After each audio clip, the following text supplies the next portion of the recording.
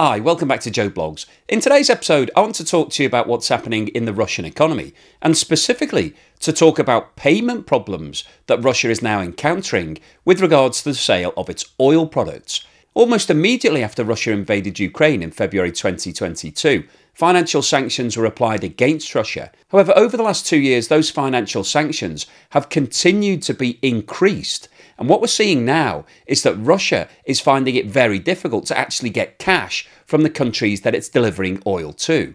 So, in today's video, we'll go through the details as to who Russia's biggest customers are right now, who's actually still buying Russian oil products, We'll then talk about what's happening with the payment systems because the USA and the European Union are closing down all of the loopholes and making it much more difficult for financial institutions to actually continue making those payments. And this is obviously having a big impact on Russia's cash flow.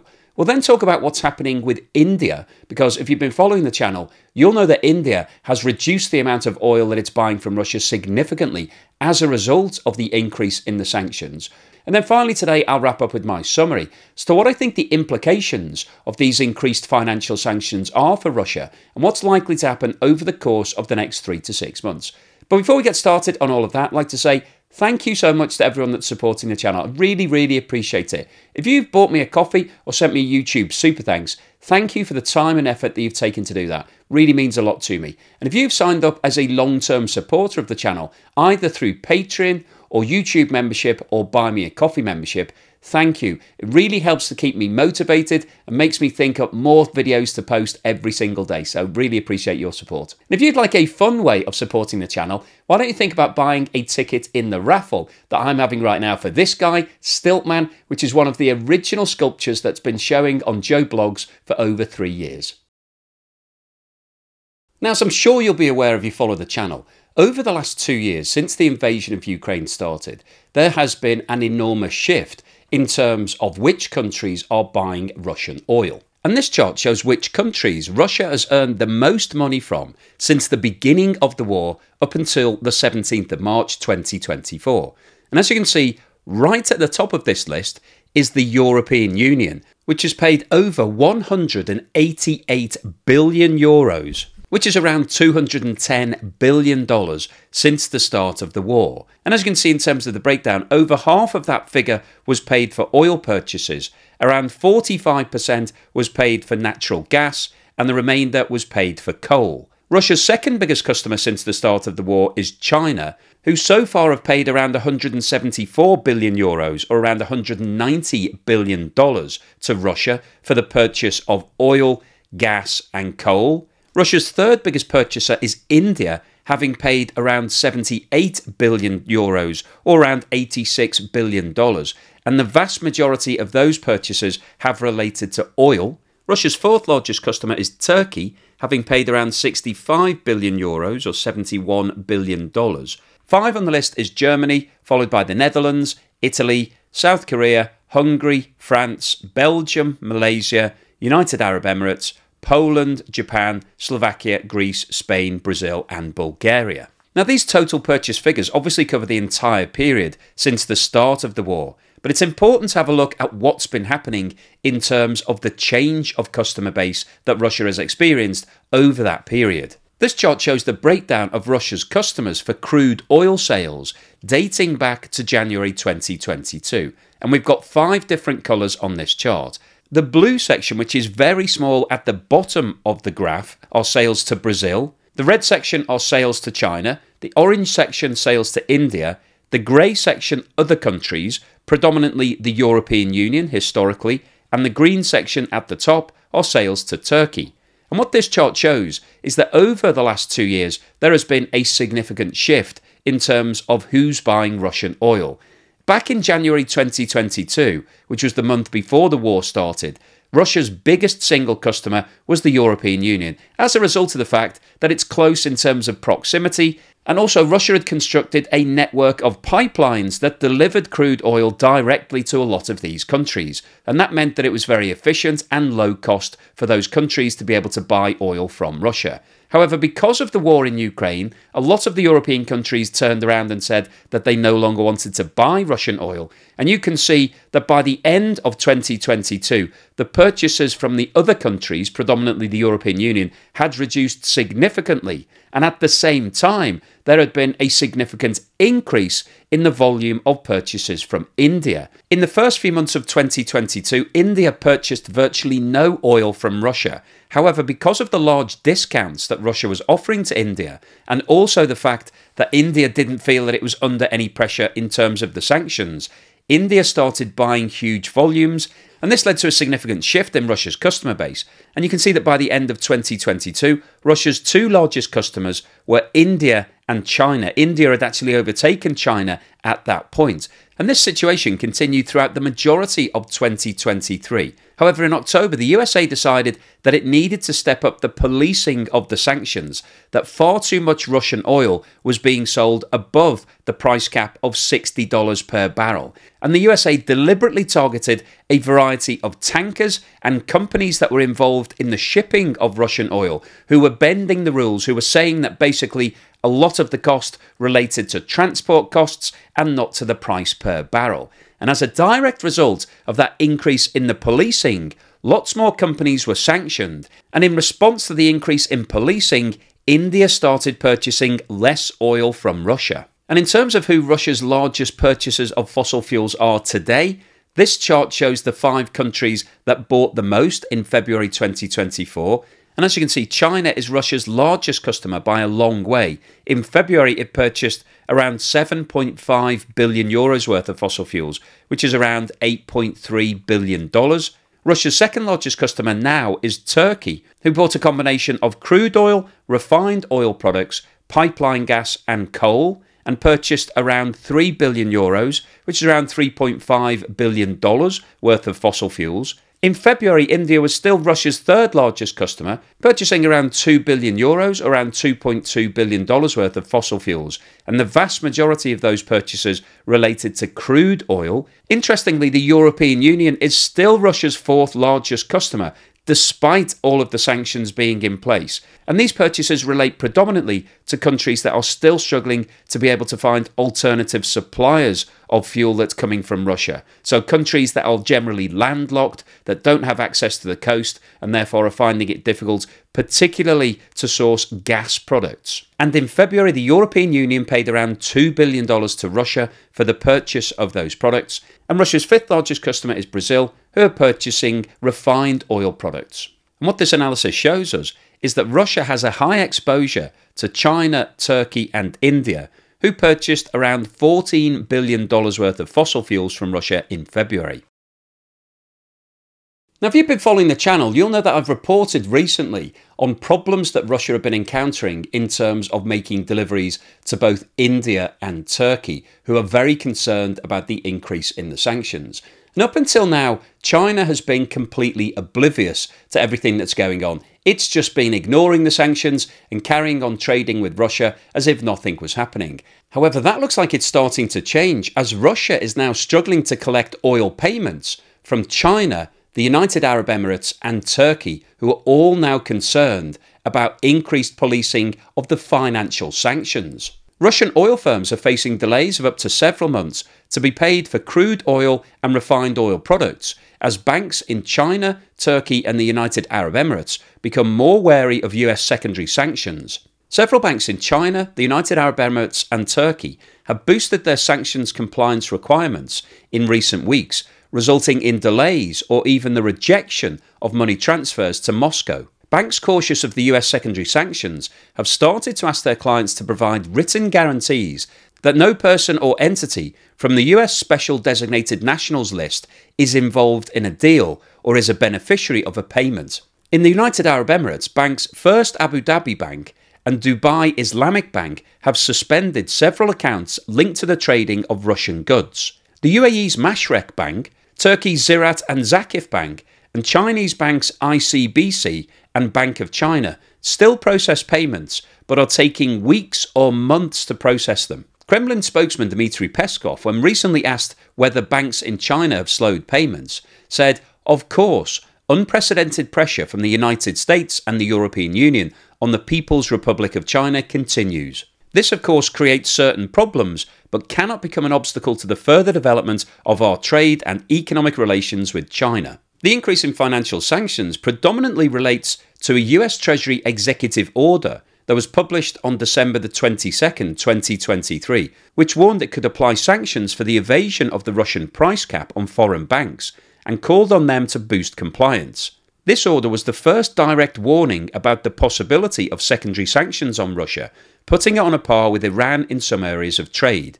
Following the US order, Chinese, UAE, and Turkish banks that work with Russia have increased checks, started asking for extra documentation, and trained more staff to make sure deals were compliant with the price caps. Additional documents can also include details of the ownership of all companies involved in the deal and personal data of individuals controlling the entities so that banks can check on any exposure to the SDN list.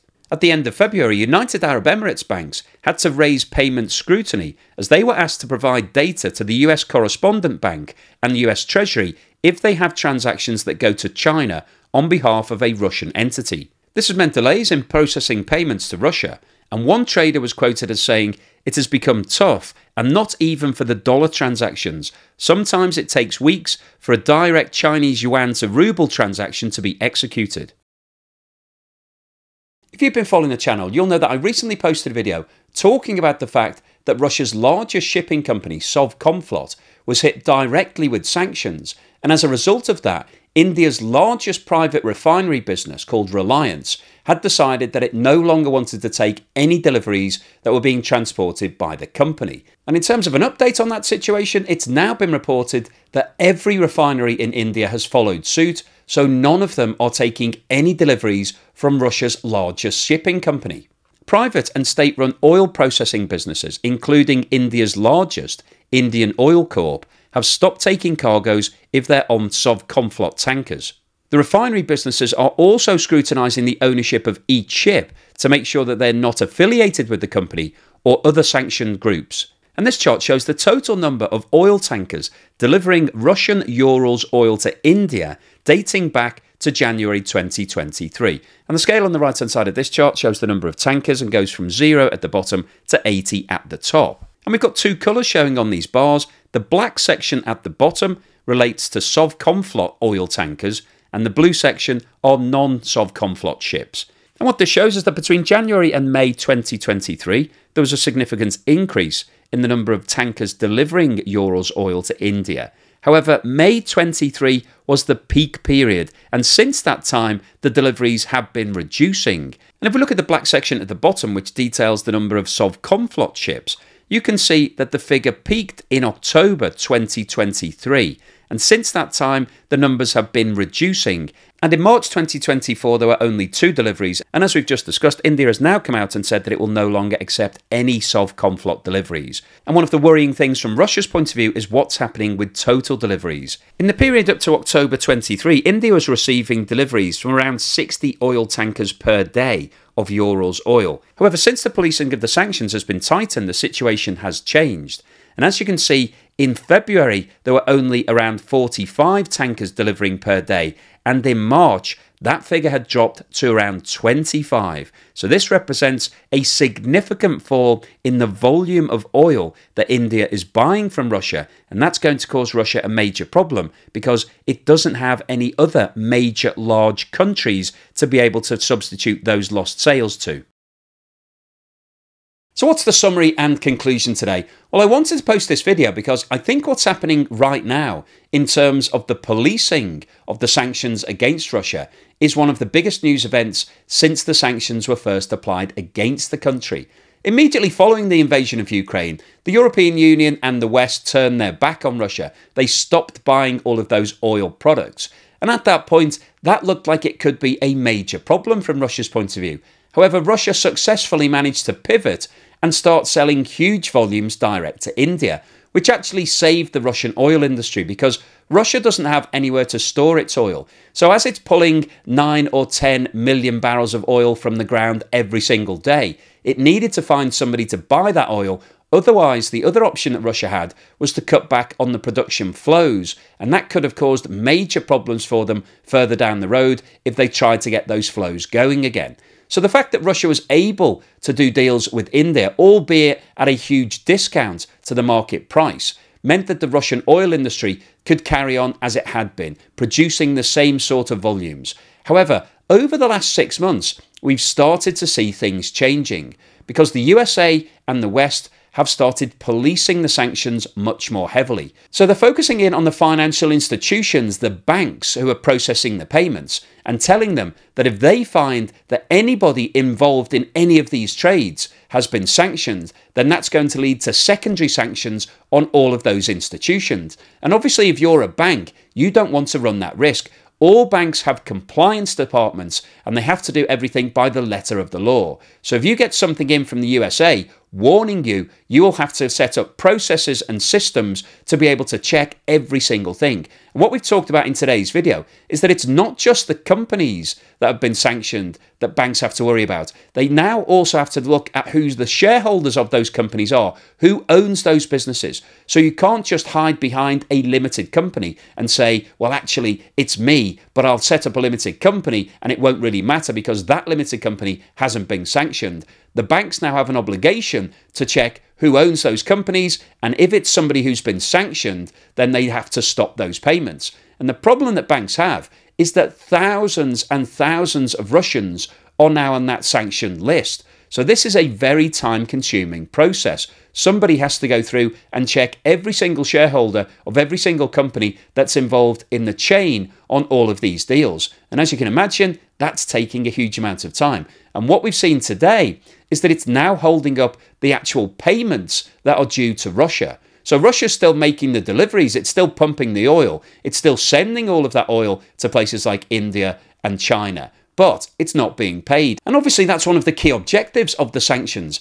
to cut out the cash flow that Russia is earning from the sale of all of its fossil fuels. So the new policing is definitely having an impact. And what we've talked about today is for the first time, China is now being hit with these sanctions. Chinese financial institutions that obviously are still dealing with the West, are still doing lots of transactions, are now being brought into this loop. So they're having to set up compliance systems and go through and check everything. So as a result of all of this increased paperwork and checking, Russia's cash flows have now been severely impacted. And as we go forward, it's likely that this situation will get worse and worse. And also, what we've talked about today is that India is now taking a step back.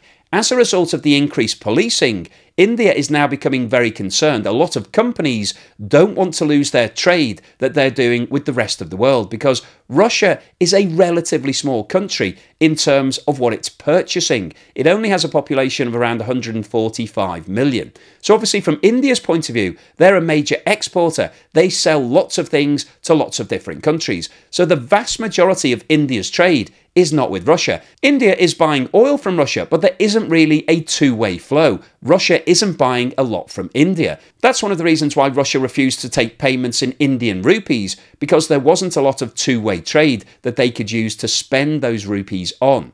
So, what we've got now is a situation where India is starting to reduce the amount of oil that it's purchasing from Russia, and that's now having a huge impact because Russia simply doesn't have any other major large countries to be able to turn to to make those sales. So if India does cut back on all of its purchases from Russia, that's going to put Russia in a very sticky situation. And what we've seen over the last 12 months is that Russia has announced two voluntary cutbacks of 500,000 barrels per day. So that obviously equates to a 1 million barrel per day reduction in the production of oil from Russia. And if India decides that it's going to stop purchasing all oil from Russia, that would mean a further cutback of around another million barrels per day, and means that Russia would therefore probably have to announce another production cutback. And all of this will lead to major problems for Russia, because if you continue reducing the amount that you're pulling out of the ground, at some point in the future when you try to fire up those flows again, you're going to encounter problems.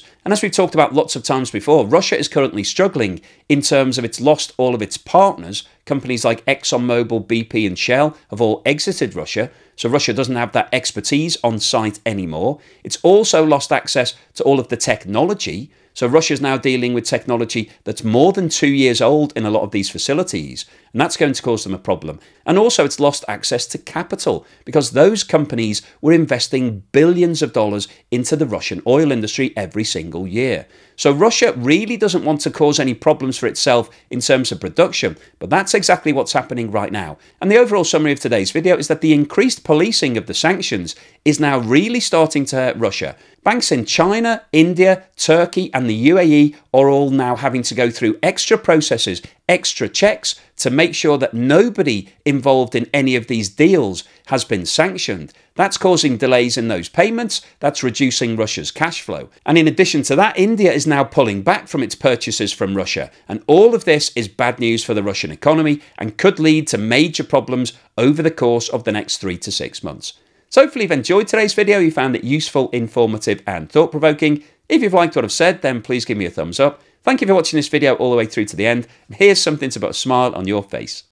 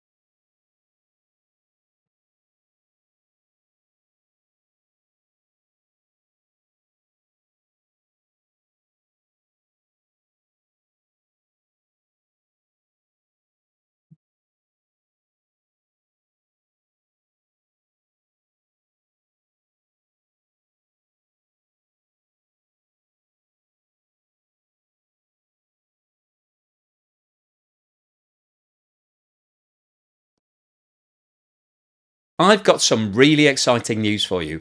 I've decided to give away another one of my statues, and this time it's this guy, the man on stilts. Now, if you've been watching my channel, you'll know that this is one of the original pieces that I've been showing in the background for the last few years. This is a truly amazing piece. I absolutely love it. And it's made by a British artist called Paul Margetts, and he makes a limited number of each one of his pieces and I've managed to secure a second one of these.